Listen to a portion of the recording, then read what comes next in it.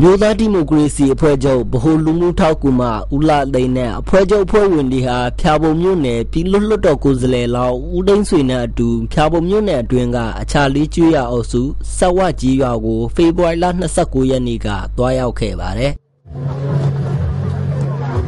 ဖျာပုံ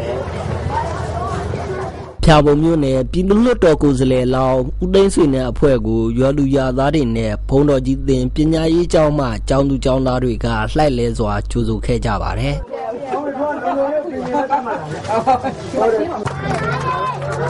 ဒေါ်ဆန်းစုကြည်ရဲ့ပြည်တော်စုတိုင်းရင်းသားများရန်ပုံငွေပွဲမှရရှိတဲ့ရန်ပုံငွေအချို့နဲ့စောက်စာတန်းတွေကိုစောက်ဝကြီးရွာမှာရှိတဲ့မြရောင်ကြီးဖုံးတော်ကြီးတင်ပညာရေးကျောင်းကိုတွားရောက်လှူဒါန်းခဲ့တာဖြစ်ပါတယ်။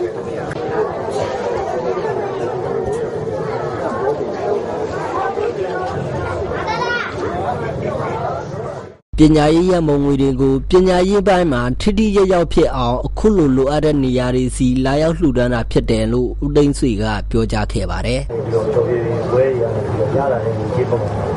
တို့ရဲ့လူပညာကြီးအဲ့ဒီကရလာတဲ့ဒီကြေးပမာဏကိုခုန